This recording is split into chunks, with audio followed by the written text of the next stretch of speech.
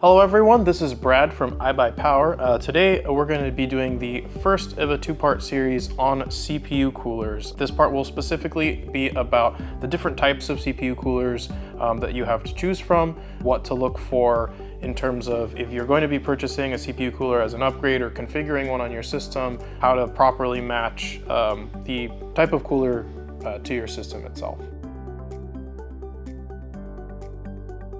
So a couple of reasons why you might be interested in, uh, you know, different kinds of coolers. Uh, you know, maybe uh, you have uh, one of the lower end coolers and you've upgraded your processor and you need to upgrade your cooling to match the higher end processor. You know, maybe your cooler um, has failed and you're looking to replace it, uh, or you've adjusted your uh, workload to, you know, one that requires more CPU usage um, and you need more cooling. Maybe you want a quieter cooler this guide should help cover, you know, a lot of those different scenarios for you. So as you can see here, we have a whole lot of coolers uh, out on the table. Um, there's three major categories of CPU coolers that I wanna go over. Uh, the first one is kind of at the entry level are what we like to call stock coolers or like OEM fans. Um, so these are usually the types of coolers that will come bundled with the processor. If you were to buy a box processor, they're usually gonna be kind of just enough to keep the CPU cool. A lot of higher end CPUs, um, because of their high power usage, can't even use one of these, so they won't come with them, but some of the mid-range CPUs will come with them. Above that, we have what we will call tower coolers. Um, so these are still heat sinks and fan assemblies, but they're a little bit more extensive as far as um, the heatsink area and the amount of cooling potential that they have compared to a stock cooler. Um, so this would be like a 92 millimeter tower fan um, versus a larger 140 millimeter tower fan. Uh, and of course, since this is a larger cooler, it will have more cooling potential. Up next, we have what most people are familiar with with higher end PCs, and those will be all-in-one liquid coolers. So all-in-one means that the pump and the radiator and coolant and tubing assembly is already pre-assembled all in one unit. It's not something that you have to put together yourself. You just uh, purchase it and install it onto your CPU and you install the radiator into the case. These come in a lot of different sizes. We have uh, the most common sizes here uh, on display. They are usually named after the size of the fan that is um, configured on the radiator. So at the bottom, we have the single fan cooler. So we have a 120 millimeter liquid cooler um, and a 140 millimeter liquid cooler. So like I said, that's gonna be because this uh, cooler's fan is 120 millimeters across. This cooler's fan is 140 millimeters across. And then as you step up to two and three fan configurations of those coolers, you get a 240 cooler for two 120s, you get a uh, 280 cooler for two 140s, a 360 cooler for three 120s, and a 420 cooler uh, for three 140s. And as you might imagine, the larger the radiator, the more cooling performance you have. It might be pretty easy just to say, okay, well, bigger is better. If I want the best cooling performance, just go with the biggest liquid cooler.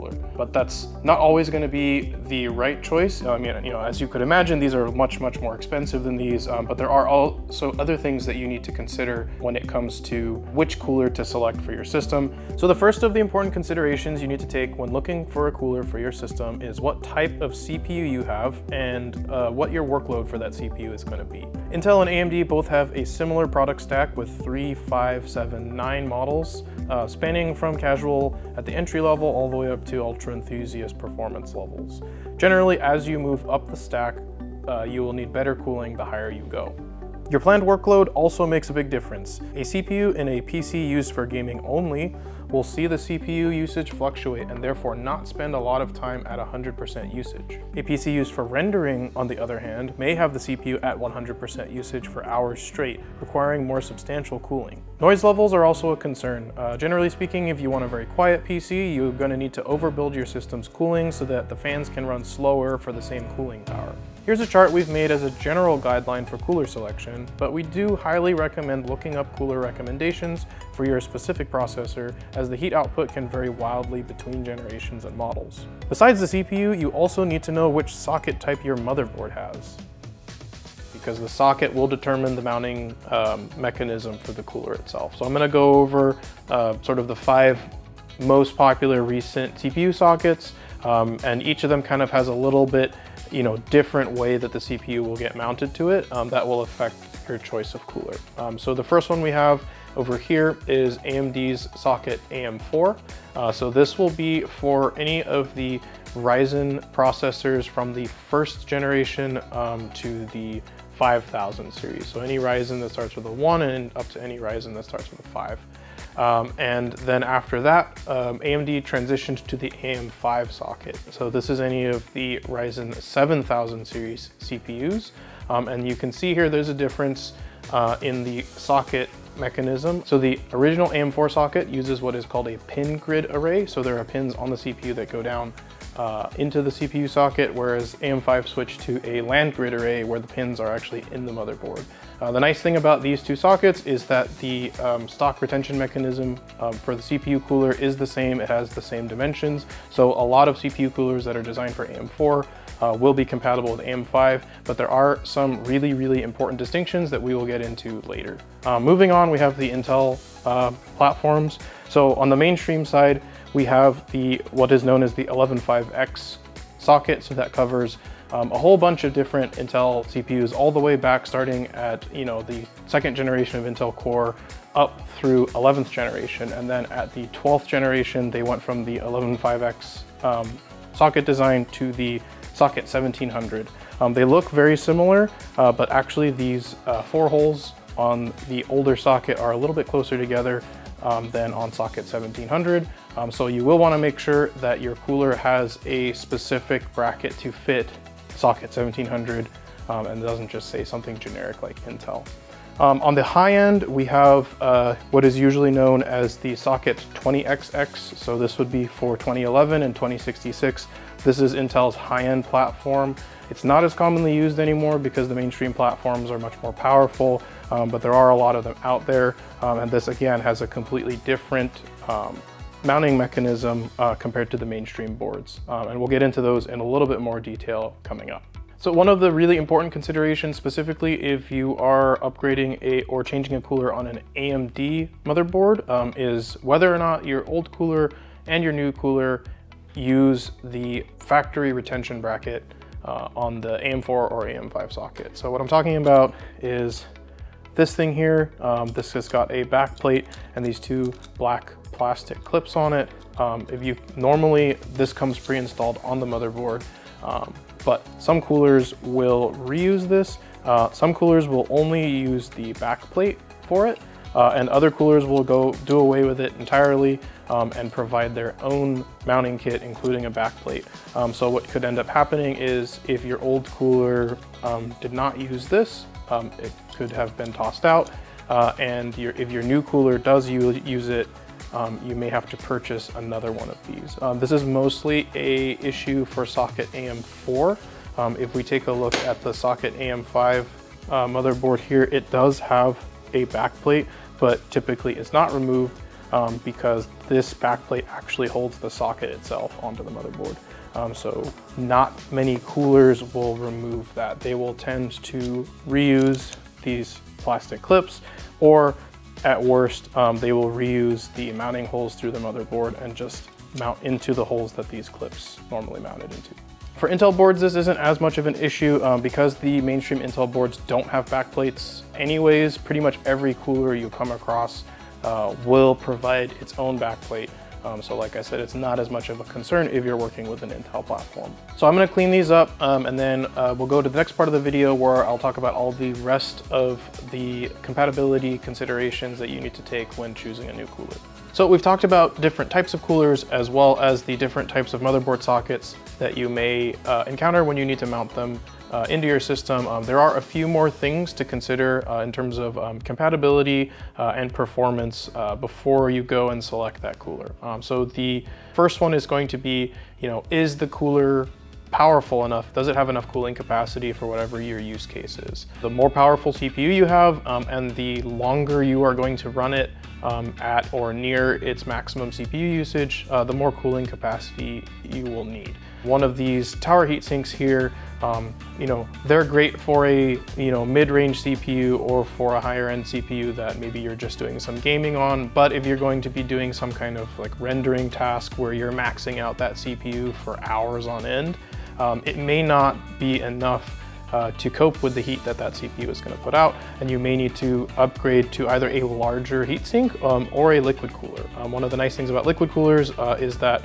you know they have much much higher heat capacity than most heat sinks do, um, so they're really really great for if you're going to run a higher end CPU for a long period of time, um, they're better at dissipating that heat. Um, but one of the things you do have to think about uh, when it comes to liquid coolers is compatibility with your case. Um, so Air coolers also have some compatibility to consider. Um, right here we have one set up to kind of illustrate one of those.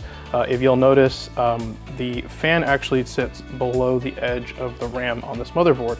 For this particular cooler on this particular board, um, there is no conflict. Um, we're just barely, barely up on this RAM here, um, but there are going to be situations where uh, a tower air cooler will interfere with the memory on your motherboard, especially for larger coolers, taller heat sinks. Um, unfortunately, uh, there's not a lot of hard specs. Usually the cooler manufacturers will put up some sort of diagram to show you the dimensions of the cooler, uh, but motherboard manufacturers won't do that. It's a little bit hard to relate one to the other. You kind of have to go by sight, but just know that if you're gonna have tall heatsink RAM, especially RGB uh, RAM, that this is something you will need to consider for an air cooler. Liquid coolers tend not to have that problem because the water block is that's above the CPU is very small um, and the large portion of the cooler is the radiator which mounts somewhere else on the case. Um, and that kind of presents another issue where you need to make sure that that radiator can fit somewhere in your case. Um, you know, if you go online and you look up what is the highest performance liquid cooler, you will probably find something like this Arctic Freezer 420. This thing in a lot of reviews is the most powerful liquid cooler that you can buy, but you'll also notice how large it is. Um, if you take a look in relation to this case that we have here, this cooler is actually longer than the case.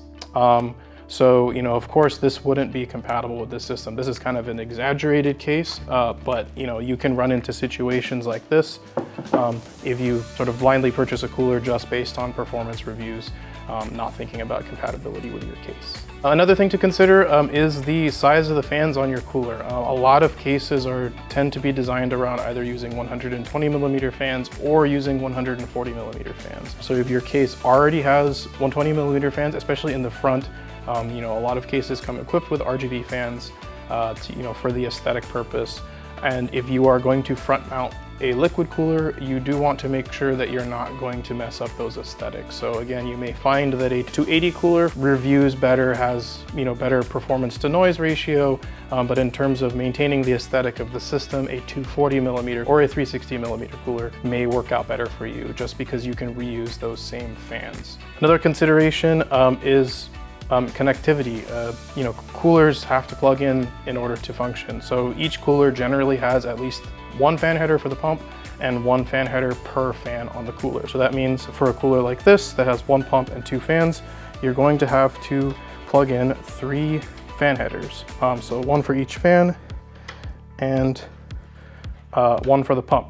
Um, so you will want to make sure that your motherboard has enough fan headers to support that. Most motherboards have at least two or three, some have up to 10, um, but it differs a lot.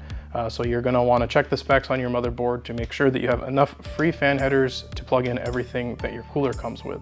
Some coolers will come with, you know, some kind of like built-in fan hub or splitter, so you can check for that as well. Um, a good example would be uh, this Corsair cooler here uh, actually has its own fan header connectors. So you can plug these fans into the cooler itself, and then you don't have to worry about using up those extra headers, but not every cooler is like that. Because this cooler is software connected, as a lot of the higher end uh, coolers, especially coolers with RGB lighting are, this cooler also requires a USB header. Um, so this will take up a USB 2.0 header on your motherboard, so you're gonna wanna make sure that if you have a software connected cooler, that you have a free USB 2.0 header uh, to plug it into on your motherboard. Like I said, most motherboards are gonna have one or two of these at least. Um, if, you're, if you don't have any USB 2 ports on your case and you're not using some other kind of um, smart device in your system, you'll probably be okay, but something to double check on. And on the subject of RGB lighting, you may already have some lighting you know, ecosystem in your PC, uh, whether that's uh, plugged into the motherboard or it's run by some third-party brand, you know, uh, NZXT, Corsair, Thermaltake all have their own RGB ecosystems. So if you're already kind of bought into one of those ecosystems, it is another consideration if you're buying an RGB cooler or a cooler that's software connected.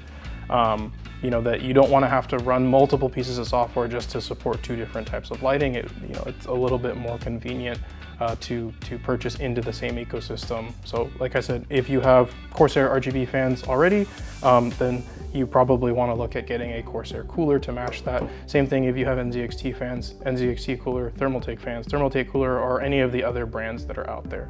Um, for some lower end coolers that have RGB but don't have their own software, um, they may have a RGB header that plugs into the motherboard actually, uh, and the motherboard will dictate the color of the RGB lighting on the cooler. Um, that's how the one in this system is set up here. Um, for those ones, you don't have to worry as much, but you do again have to make sure that your motherboard has a free addressable or non-addressable RGB header. So generally take a look at what the connectivity of the cooler you're looking to purchase uh, looks like and make sure that you know your motherboard has all of those headers that everything can plug into. Well, thanks for tuning in. Hopefully you found this video helpful. Um, in the next video in the series, we're going to be covering the actual process of replacing the cooler, including the uninstallation of the previous cooler um, and the installation of the new cooler. Um, if we missed anything, you know, go ahead, feel free to get in touch with us. Uh, check us out on our Discord or our subreddit. Uh, if not, then I'll see you next time.